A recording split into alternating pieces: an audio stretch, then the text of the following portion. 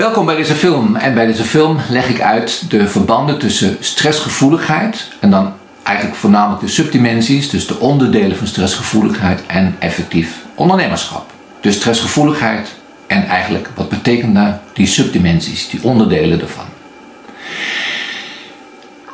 Even terugkoppelend, ehm, interessant genoeg is een heel lage score, 1, 2 of 3. Ik heb het al in de, overzichts, in de, overzichtsfilm benoemd. Bij stressgevoeligheid dysfunctioneel. Waarom?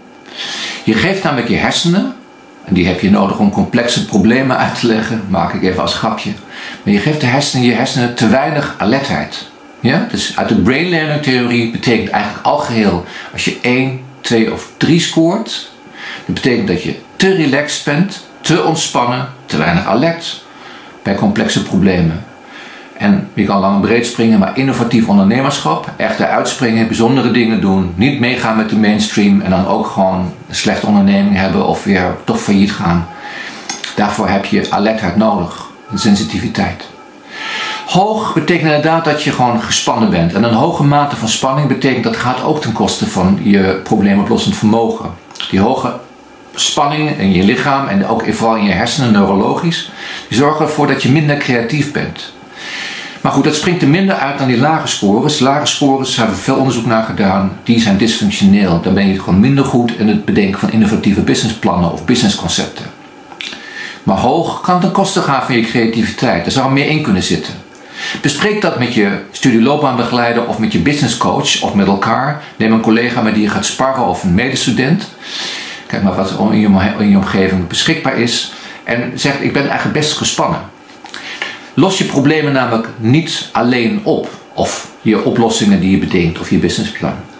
Dat is namelijk heel interessant, want stressgevoeligheid doet het heel goed als jij je sociaal ondersteund wordt. Het klinkt een beetje gewoon uh, gek, maar als je iemand hebt met die je goed kan sparren, van die je het idee hebt, die begrijpt het, en je komt samen dan tot een goed gesprek, ja, dan um, zijn die stressgevoeligheidsscores, die hoge scores, minder dysfunctioneel. Want die trek je door die spanning heen en opent je weer perspectieven die je eentje met die hoge spanning niet zo snel gezien had. Ja, samengevat. Stressgevoeligheid.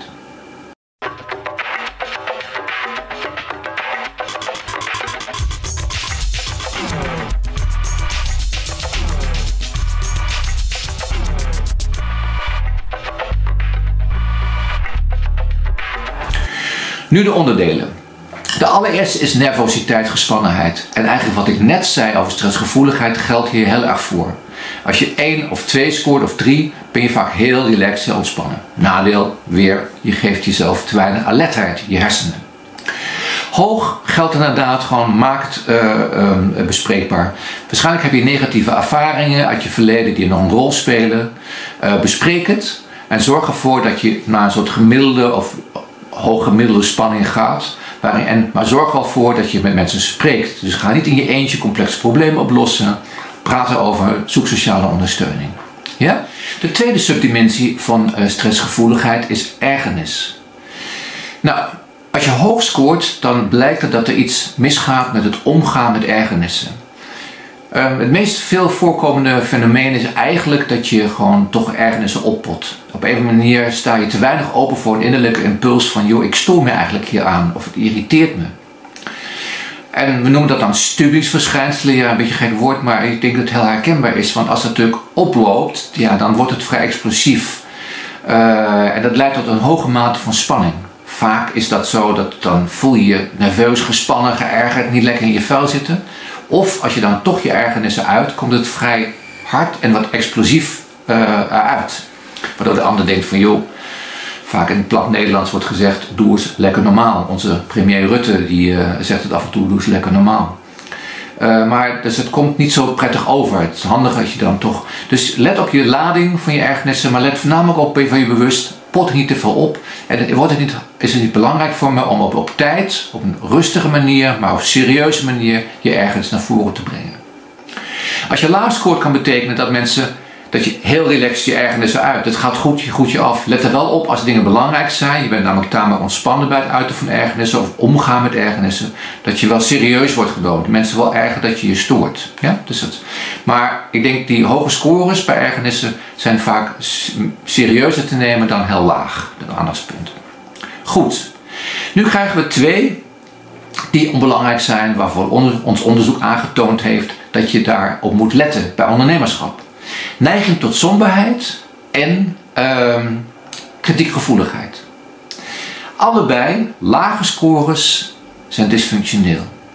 Neiging tot somberheid betekent dat je vaak een hele positieve kijk hebt. Joh, het zal me wel lukken. Joh, ik zie overal mogelijkheden. Maar complexe problemen, ik zei het al eerder, worden niet opgelost door makkelijke oplossingen. Ja? Dus neiging tot somberheid betekent wel dat je een hele positieve te positieve kijk hebt en daardoor het probleem een beetje onderschat. Of je eigen handelen overschat.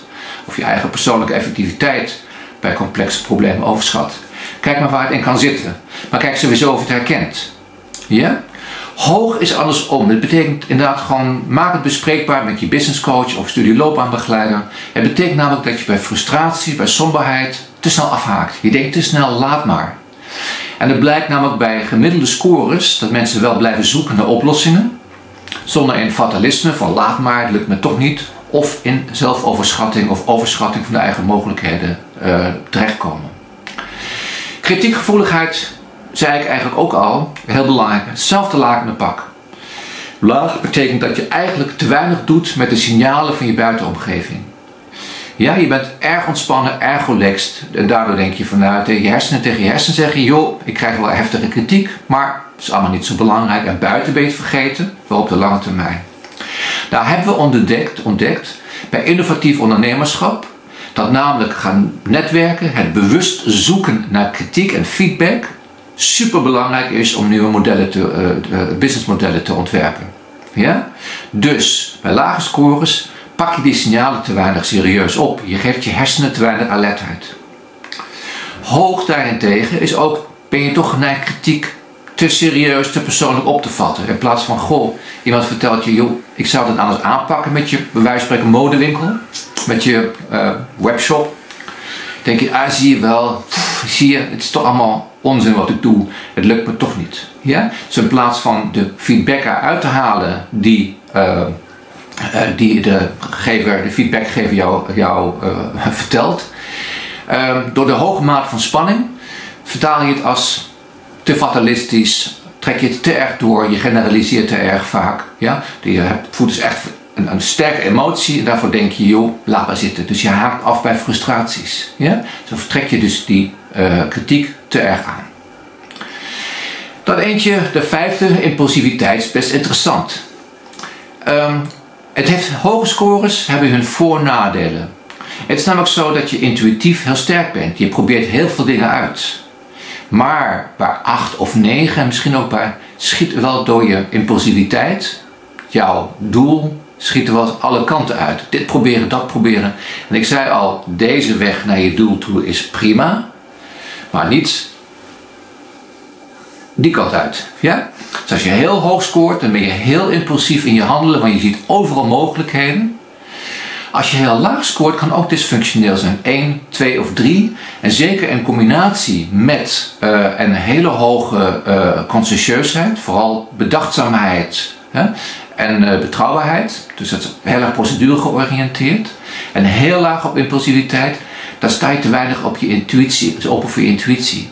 En kansen ontdekken, creatief, kansen ontdekken als ondernemer, is een heel intuïtief proces. Dus maak je, wees ga bewuster met je impulsen om. Die vertellen je best heel veel.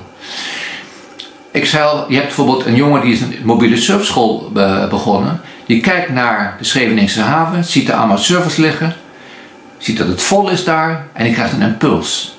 Zei, joh, surfen is fantastisch. Een surfschool heeft heel veel potentie. Maar dat moet je niet hier doen. Je moet het gewoon mobiel doen. Zorgen dat je op mooie plekken terechtkomt als het hier vol is. Ja, intuïtie. Goed. En de laatste is lage weerbaarheid bij stress. Um, het betekent eigenlijk, denk er goed over na, en ook dat zou ik met een business coach of met een studieloopbaanbegeleider bespreken. Dat als de situatie stressvol is, op een of andere manier hoe je ermee omgaat, uh, psychologisch, emotioneel of qua assertiviteit, je niet, niet weerbaar voelt. Ja? Benoem dan stressvolle situaties. Kijk nu hoe je ermee om, uh, omgaat en denk erover na. Dus met een, iemand, een vriend of een, of een medestudent of een, of een collega of een business coach. Hoe kan ik effectiever met die stress omgaan? Want hoge mate van spanningen bij stress beperkt je probleemoplossend vermogen in je hersenen, in je cortex. Ja, dat heeft ermee te maken, dat is gewoon een te hoge mate van spanning. Een bepaalde alertheid is functioneel, maar te geladen. Het heeft heel erg met het omgaan met. In Engels heet dat coping, to cope with. Je weerbaar opstellen tegen. Dus analyseer goed, hoe ga ik nu met stress om? En kan dat misschien functioneler, effectiever? Je persoonlijke effectiviteit bij stress. Ja? Kan ook met je time management te maken hebben. Dat je bijvoorbeeld dingen uitstelt of te laat begint. Daar ontstaat ook vaak stress. Ja? Goed, dat waren de subdimensies van stressgevoeligheid. Veel succes!